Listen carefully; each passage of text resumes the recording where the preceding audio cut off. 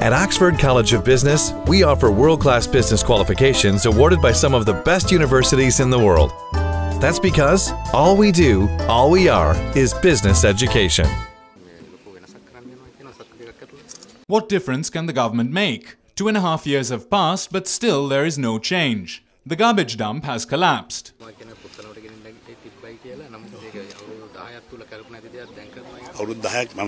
I waged a war for 10 years. I also gave a solution for the garbage dump issue and allocated funds for it. This government has no such worries. They have no war to wage and infrastructure is in place. All they needed to do was to package the garbage and transport it away. They didn't do that. We worked to a plan.